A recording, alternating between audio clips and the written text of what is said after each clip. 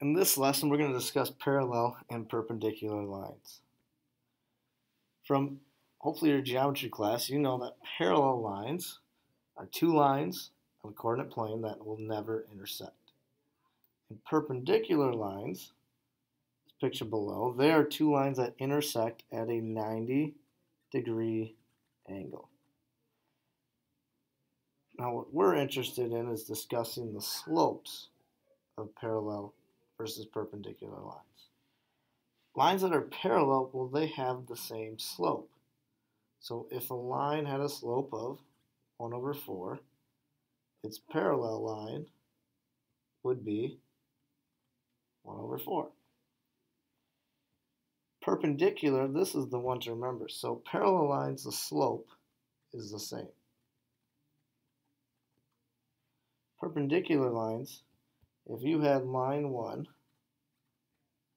had a slope of 1 over 4, its perpendicular slope, so line 2 would have to be the opposite reciprocal, meaning you flip the numbers and you change it from positive to negative.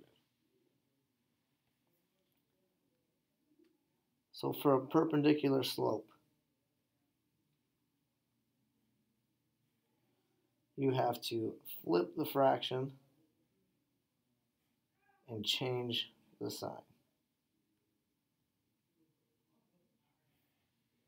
So a couple more examples of that. Let's say we had line 1 here and we've got line 2 here. If I had line 1 had a slope of 5 then the perpendicular slope, so you put that for perpendicular slope, I'd have to flip that, meaning it would have to be 1 over 5. And because that 5 is positive, the 1 over 5 would have to be negative. Let's say we have a slope of negative 2 over 3. Perpendicular would have to flip the fraction, so instead we have to write 3 over 2. And because this was negative, perpendicular slope is going to be positive. Let's take a look at a couple examples. It says determine if the lines are parallel, perpendicular, or neither. We need to remember our slope formula. So our y2 minus y1 over x2 minus x1. That will determine the slope between line 1 and that'll help us determine the, determine the slope for line 2 as well. So for line 1 here, subtracting the y's, I'm going to take 9 minus 6 over, got to subtract my x's. So if I started with the 9, I have to start with that 6 minus 4. So on top I get 3, on the bottom I get 2. So the slope of line 1 is 3 over 2. Slope of line 2, I'm going to take 6 minus 3 to subtract my y's over 3 minus 1 to subtract the x's. I get 3 on top, 2 on the bottom. So line 2 has a slope of 3 over 2. Notice that line 1 and line 2 slopes came out as the same. And I know that if they have the same slope, that would make them parallel.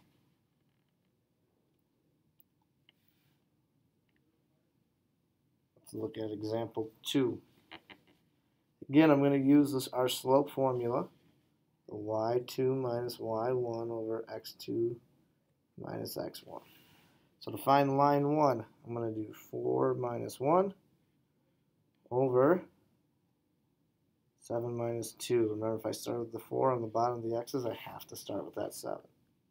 So we get 3 on top over 5 on the bottom. So line 1 is a slope of 3 over 5. Line 2, I'm going to start with negative 4 minus 1 over 8 minus 5. Now I'm going to get negative 5 over 3. Now take a look at these. Line 1 had a slope of 3 over 5. Line 2 has a slope of negative 5 over 3. The fractions have flipped. One's positive, one's negative. Therefore, these two lines would be perpendicular. If, for example, were, the slopes were not the same, they were not the opposite reciprocal, then we would be choosing the answer of neither.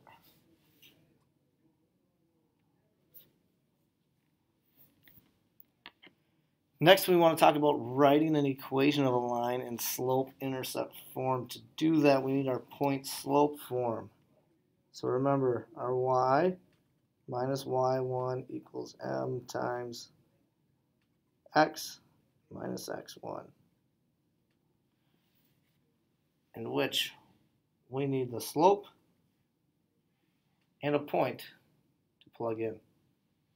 So if we want to write the equation of each line in slope-intercept form, it needs to be parallel to y equals 5x minus 3, and it has to go through the point 1, 4.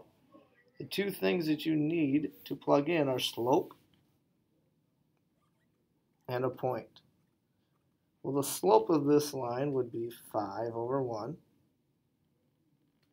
and a parallel slope would match that, meaning it would have to be the same.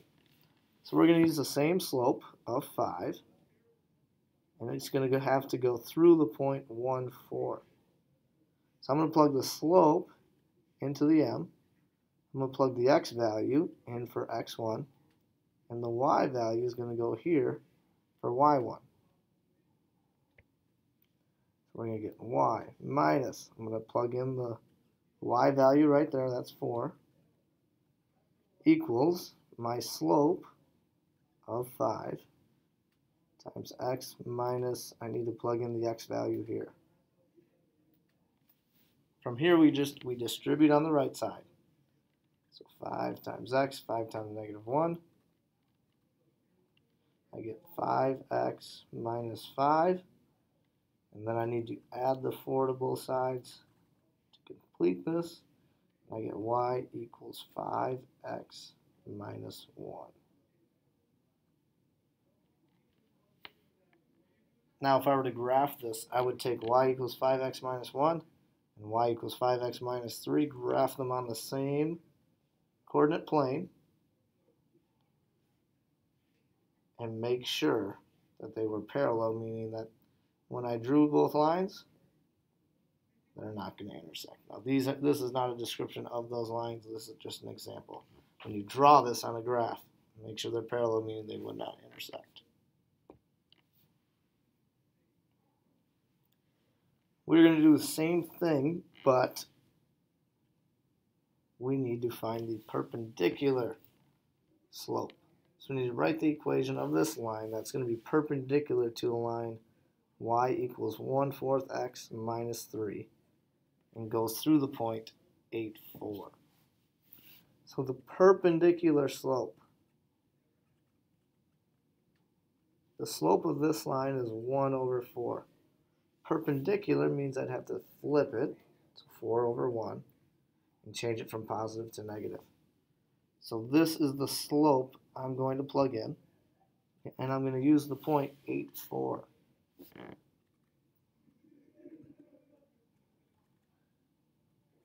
So I got my point slope form. So I need to plug in the perpendicular slope and the x and y value into the equation. So it's going to look like this. I'm going to say y minus the y value is 4. So y minus 4 equals our slope of negative 4 times x minus 8. Now we go through and solve. Going to distribute, so we get y minus 4 equals negative 4x plus 32. Add 4 to both sides we get y equals negative 4x plus 36. This is a line that would be perpendicular to y equals 1 fourth x minus 3 and would go through the point 8,